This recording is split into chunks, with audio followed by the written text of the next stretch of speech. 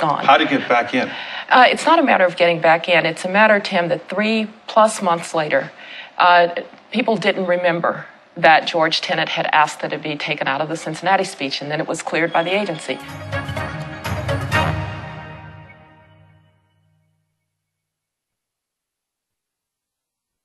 The British government has learned that Saddam Hussein recently sought significant quantities of uranium from Africa. Just 16 words in the State of the Union address, words that we now know were misleading. And retired career diplomat Joe Wilson tried to warn the administration of just that nearly a year before the speech. I, uh, I received a call from, um, from the CIA uh, in February 2002, and I was invited out to talk to those people within the broader intelligence community who deal with uh, three different subjects Iraq, um, uranium, and Niger. Uh, I briefed them on what I knew about the uranium business. It was during the course of that briefing that they said that they had received a report that had piqued the, the interest of the Office of the Vice President, and that report was of a purported memorandum of agreement uh, authorizing the sale of uranium yellowcake, somewhat enriched uranium, from Niger to uh, to Iraq, and it was a document that was executed by the government of Niger. They asked me if I would be willing to go out and take another look at it and talk to people I knew there. I left. Um, I left there telling them that if they wanted, I would be able to free up my schedule. They subsequently called me and said, "Please do." I'd spent the eight days there drinking uh, drinking mint tea and talking to everybody there was to talk to who knew anything about the subject matter in uh, and I'd come back uh, persuaded that did not have happened. One, uh, from a business perspective, because of the way the consortium was structured, you just couldn't do it without a lot of people knowing.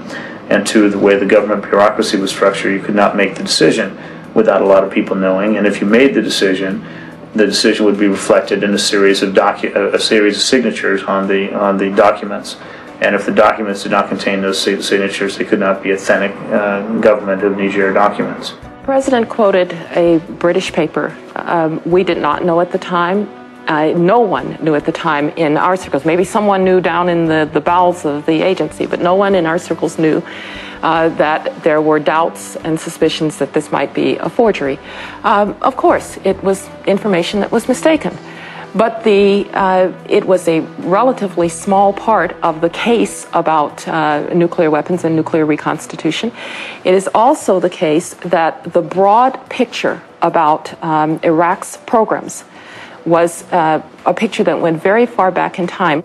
Now, given what I knew about where the question had originated, um, and given what I knew about the way the government works, I knew that um, people in her circle did know. Based on thorough analysis, the IAEA has concluded, with the, with the concurrence of outside experts, that these documents, which form the basis for the reports of recent uranium transaction between Iraq and Niger, are in fact not authentic. Numerous French words were misspelled in the documents. One of the letters was signed by a Niger official who had left office 10 years ago. Several dates in the documents did not match the day of the week.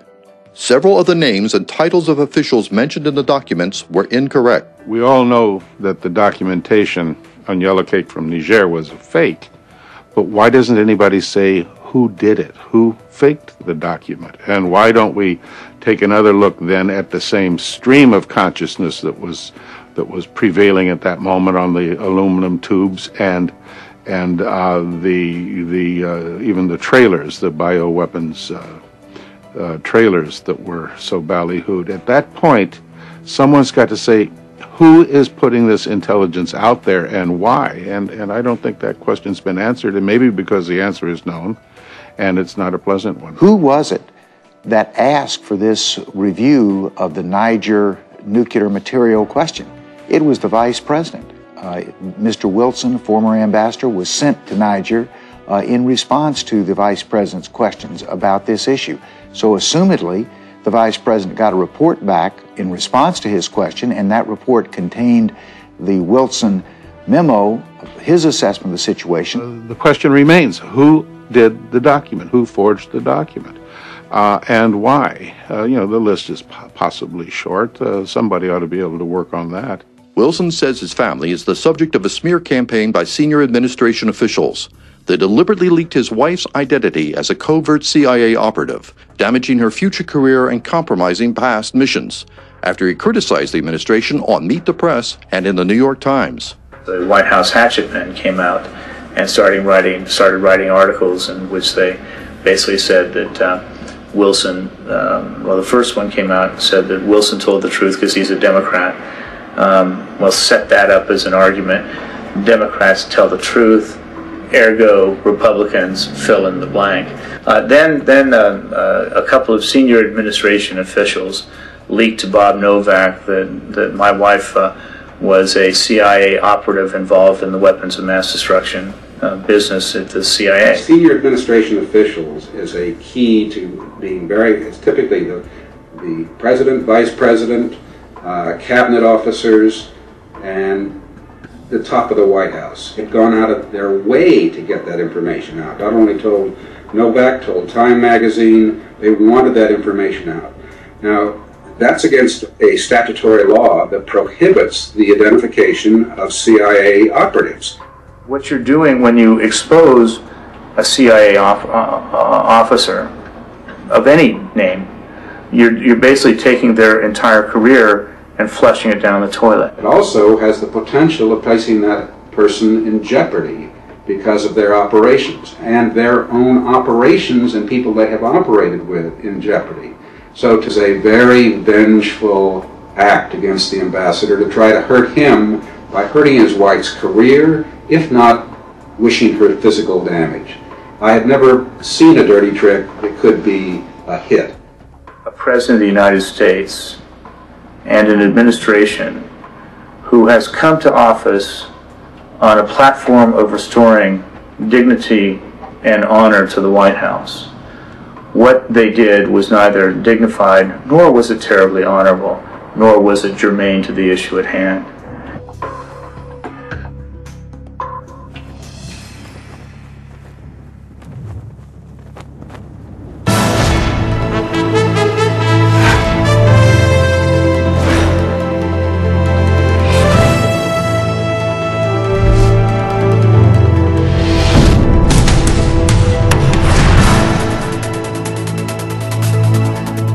Of all, it should be noted that Colin Powell's speech to the United Nations was theater, a masterful theater, effective theater at the time. Um, you know, here's a man who has tremendous credibility, uh, who presents himself to the Security Council, to the American people, to the international public, and stares the camera in the eye and says he knows Iraq has weapons of mass destruction leaving Saddam Hussein in possession of weapons of mass destruction for a few more months or years is not an option. My first visual impression here, uh, watching George Tenet, the head of the Central Intelligence Agency, uh, back there as a prop, uh, almost like a, a potted plant, uh, as if to say that the Central Intelligence Agency stands behind, or in this case sits behind everything that Colin Powell says, that was a terrific blow to the morale of the Central Intelligence Agency analysts. Saddam Hussein has chemical weapons. Chemical weapons, although they can be very deadly in a subway station or something like this, are not really strategic weapons. They are weapons that can kill 50, 100, 200 people, but in fact, they won't devastate you the way a nuclear weapon in New York City or Chicago or someplace would be a, a deadly blow. Saddam Hussein has used these horrific weapons on another country and on his own people.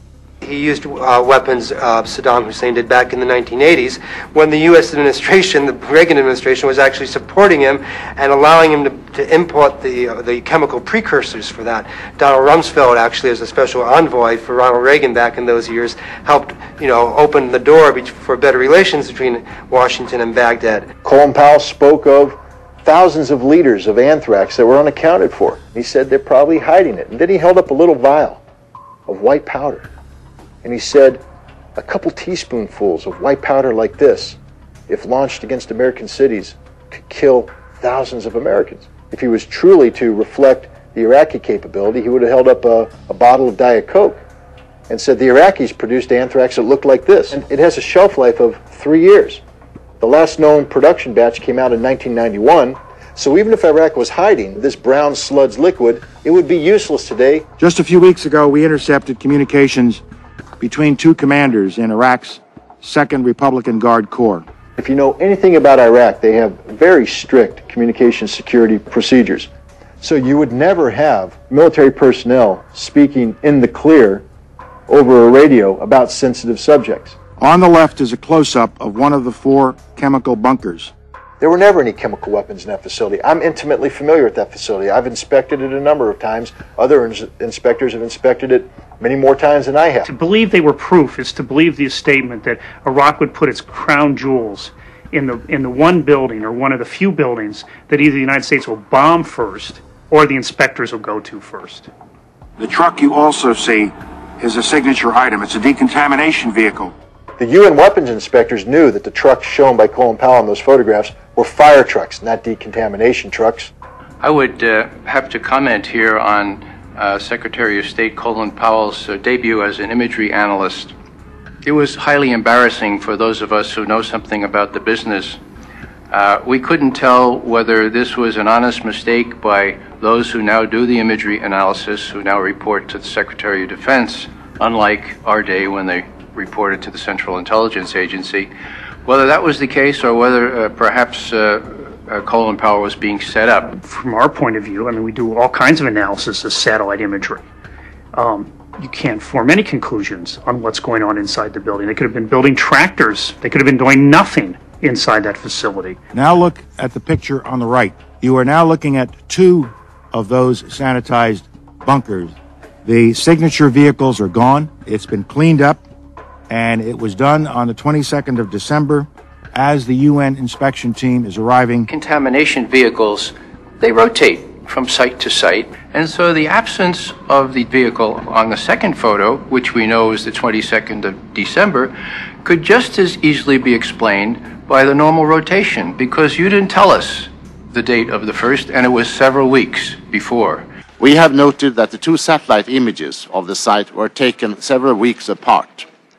The reported movement of munitions at the site could just as easily have been a routine activity as a movement of prescribed munitions in anticipation of imminent inspection. We have first hand descriptions of biological weapons factories on wheels and on rails. These mobile labs that you've been shown to be nothing more than hydrogen generation facilities. Here you see both truck and rail car mounted mobile factories. When you take a look at the mobile labs that Colin Powell uh, discussed, he didn't put up photographs of these facilities. He put up artist renditions of these facilities. Why? Because we have no proof they exist. This video of an Iraqi test flight obtained by UNSCOM some years ago shows an Iraqi F 1 Mirage jet aircraft. Note the spray coming from beneath the Mirage. That is 2,000 liters of simulated anthrax.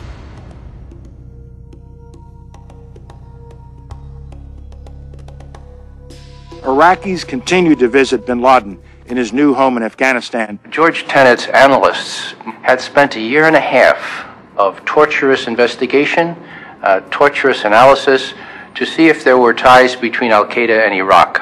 They found none. Our conservative estimate is that Iraq today has a stockpile of between 100 and 500 tons of chemical weapons agent. So the Secretary of State is telling us that uh, our conservative estimate is that Iraq possesses between 100 and 500 tons of chemical weapons agent, enough to fill 16,000 uh, warheads on the battlefield. Um, where are they? What happened to them? My suspicion is that this is not our conservative estimate, that this sounds very much to me like our neoconservative estimate. Iraqi denials of supporting terrorism take their place alongside the other Iraqi denials of weapons of mass destruction. It is all a web of lies. It was a masterful performance, but none of it was true. Where are all these weapons? Where is all this VX? Where is all the anthrax? Probably one of the low points uh, in his long distinguished uh,